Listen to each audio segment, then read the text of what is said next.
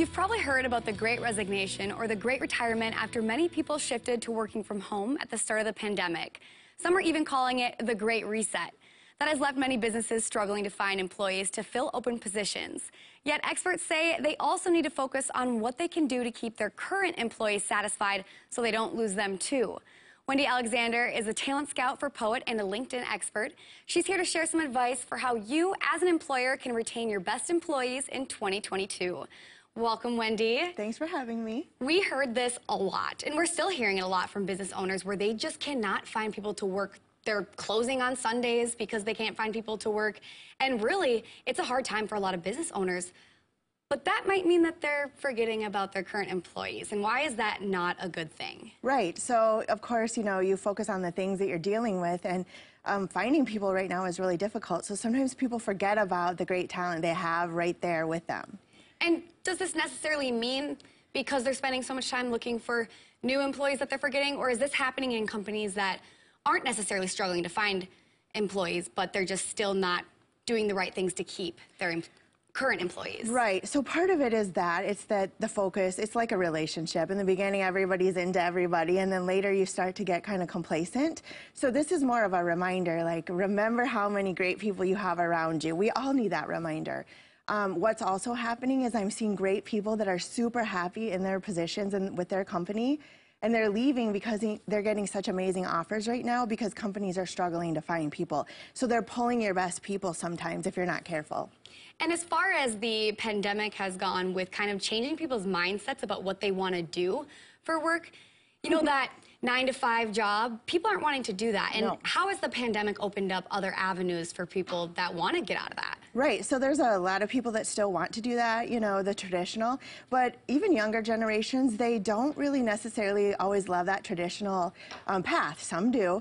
But some are wanting to even have two, three, four, five jobs, whether that's driving Lyft or doing a gig. Um, maybe they play guitar, maybe they blog. And they're finding different ways because that allows for the flexibility they want that sometimes a full time job doesn't. So you still have a little bit of both. So let's get into now how we can retain our current employees, whether or not as a business owner we are struggling to find new employees or we just want to keep our business going the same way that it is. So let's go through some different tips and advice that you have for yes. that. Yeah, absolutely. So um, we kind of have a, a, list. So I start out with the fact that um, total rewards are so important. That's your pay, your benefits, your perks, all of those sorts of things.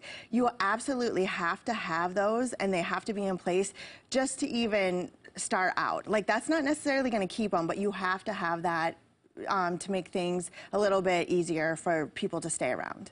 And then as far as like technology goes, mm -hmm. why is having that top-notch technology something that people want to work for? Right, so um, technology is super important.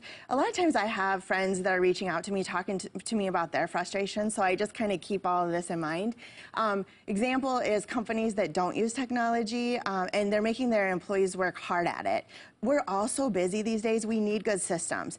By the way, if you have good systems, make sure you're using all of them. Sometimes they're only implemented to 10 to 50%, and you're not even using the efficiency tools that could help you. And as far as flexibility goes, I think obviously if you are doing, you know, little jobs like you mentioned, Lyft and different things, you mm -hmm. kind of mm-hmm. get to control your schedule. But yeah. as far as flexibility, what do you mean in terms of if you are working that eight-hour day job in the office, what do you mean by flexibility? Right, so a lot of um, uh, candidates are looking for flexibility. They think that just means remote work.